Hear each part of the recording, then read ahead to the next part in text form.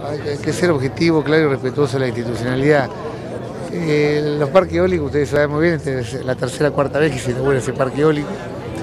El reclamo de siempre es decir, los parques eólicos fantásticos de moneda, pero no nos dejan absolutamente nada. El otro día el ministro Dujón salió a decir que dejaban 272 puestos de trabajo en forma directa y ustedes saben que es totalmente incierto porque hay, el parque da cuatro puestos de trabajo directo, sí lo que implica para poder construir. No tenemos tarifas diferenciales, no nos deja absolutamente nada. Decir, y yo se lo dije al presidente, que mismo lo, reconoció, somos una provincia que generamos casi 12 veces más de energía de lo que necesitamos.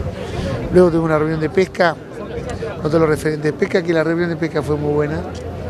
Eh, hubo actores y referentes de todo el país y fue muy buena porque cuando uno escucha los reclamos que vienen por parte de otras pesquerías del país, y ve que la provincia del Chubut siempre está un paso adelante, desde la flota, desde, las, de, la plata pesquera, desde el 30% de valor agregado que hemos decidido por decreto hace pocos días, cuando hemos vedado la zona del Golfo San Jorge para poder, que es la zona de cría del langostino, para poder tener mayor captura y mayor producción que se ha trasladado de 30.000 toneladas, 200.000 toneladas, son medidas que nosotros, que la provincia del Chubut está un paso por delante del resto de las pesquerías.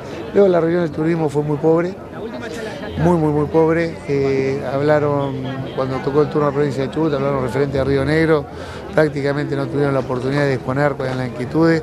Sí se expuso en forma muy clara y el problema que estamos teniendo en la comarca andina. ¿sí? por, el, por y el perjuicio hacia los productores y hacia los, hacia los desarrolladores turísticos. Ahí se pudo plantear, pero no se pudieron plantear cuestiones de fondos que hacen a lo que todos nosotros necesitamos.